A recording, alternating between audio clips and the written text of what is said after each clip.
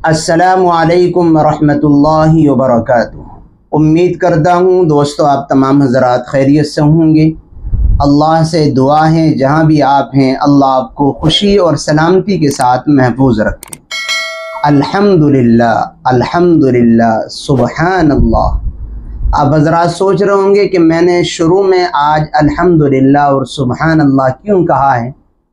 जी हाँ मैंने ये इसलिए कहा है, इसलिए कि आज मैं आपको एक ऐसी बात और एक ऐसे मजमून से रोशनास कराने वाला हूँ, जिसके पढ़ने के बाद या जिसके सुनने के बाद हर मोमिन को अल्हम्दुलिल्लाह और सुबहान अल्लाह कहना ही चाहिए। जी हाँ मैं आज आपको बतलाने वाला हूँ, एक मशहूर साइकोलॉजिस्ट डॉक्टर बी वे पटा का एक इंटरव्यू सुनाने वाला हूँ। वो पढ़ कर के आपको बतलाने वाला हूँ, जिसमें इन्होंने दावा किया है कि नमाज़ पढ़ने वाले हजरात, मुसल्ली हजरात, नमाजी हजरात दिमागी बीमारियों से महफूज रहते हैं। सुबहान अल्लाह क्या शान है अल्लाह ताला की? और अल्लाह ताला का जितना शुक्र अदा किया जाए कम है। अल्लाह ताला का जितना एहसान माना जाए कम है।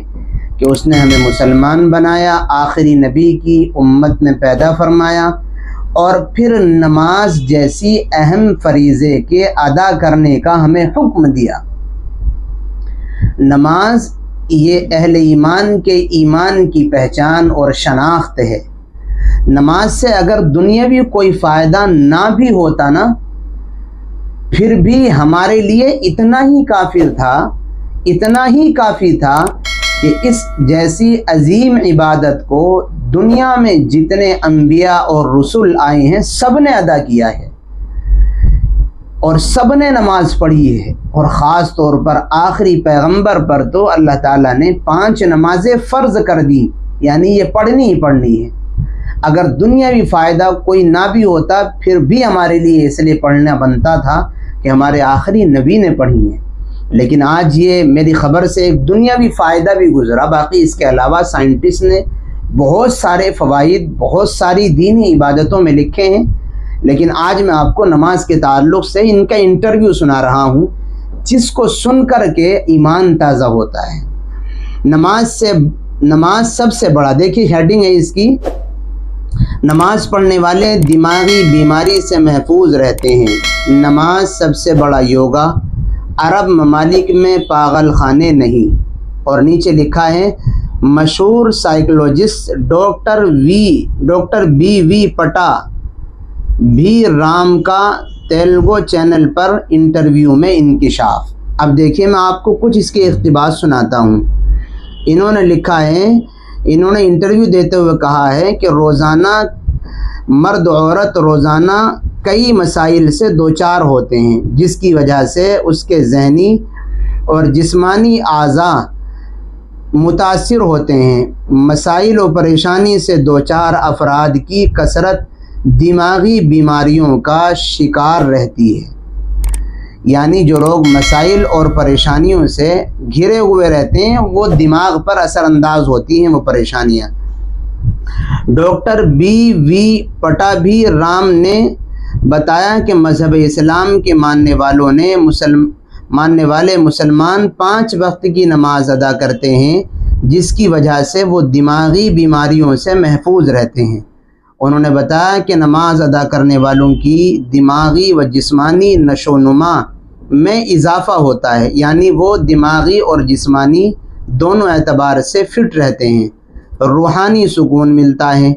उन्होंने बताया कि अरब ममालिक की मिसाल देते हुए कहा कि अरब ममालिक में पागल खाने नहीं होते, क्योंकि वहाँ नमाज़ पढ़ने वालों की अक्सरियत होती है। ये तो मुझे मालूम नहीं कि अरब में पागल खाने नहीं होते, लेकिन ये कह रहे हैं तो शायद ऐसा ही हो।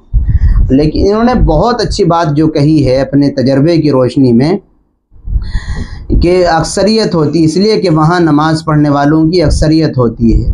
दुनिया के ज़्यादातर ममालिक में पागल खाने होते हैं, अरब ममालिक में एक भी पागल खाना नहीं।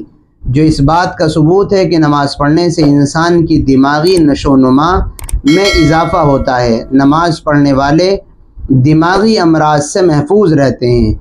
डॉक्टर बी वी पटा भी राम ने कहा कि नमाज़ के तरीक़ार का बिलखसूस कायदे का तरीक़ा इंतहाई अहम है। कायदा किसको कहते हैं? जिसमें हम दो रकात या चार रकात के बाद बैठते हैं। वो कहते हैं कि ये बैठने का तरीक़ा इंतहाई अहम है। Doctor B V Pattabhi Ram के मुताबिक कायदे में बैठने वाले शख्स के दौरान खून की वजह से जहनी सुकून शख्स के दौरान खून की वजह से जहनी सुकून हासिल होता है। जहनी बीमारी का इलाज भी होता है। अलावा अजी नमाज़ के दूसरे अरकान, क़याम, रुकू और सजदे की वजह से दौरान खून के उतार चढ़ाव से दिमाग, आयुर्वेदिक के ज़रिए दिमाग दिमाग को सुकून हासिल होता है। क्या बेहतरीन और शानदार अल्लाह ताला ने हमें ईमान और मज़हब और इबादत का हुक्म दिया है? अल्लाह ताला ने इन इबादत के ज़रिए हमारी रूह को भी सुकून देता है और जिस्म के सुकून की मैंने आपको ये ख़बर पढ़ाई है कि नमाज़ पढ़ने वाले मेंटलिस्ट, मेंटल नहीं हो सकते हैं। वो दिमागी तोज़ुन उनका ख़राब नहीं होता है। आप तजर्बा करके देखें, अपने आस पास में निगाह दौड़ाएँ कि जो पक्के नमाजी हैं, पाँच वक्त की नमाज़ पढ़ने वाले हैं, शायद आपको कोई मिले। जिसके दिमाग का तोज़ुन उम्र ज़्यादा होने के बावजूद भी ख़राब हो गया। बहुत कम शायद न मिले। और इन्होंने अरब ममालिक की मिसाल दी है। इसलिए मेरे भाइयों और बहनों, हमें थोड़ा सा गौर फ़िक्र करने की ज़रूरत है और नमाज़ जैसी अहम इबादत को अपने सीने से लगा करके उस पर पाबंदी के साथ जमने की ज़रूरत है। अल्लाह ताला हम सब के लिए आसान फरमाए। दुआओं की दरख्वास्त हैं, फिर मिलेंगे इन किसी नई और अच्छी वीडियो के साथ। असलकम वरहमल वर्का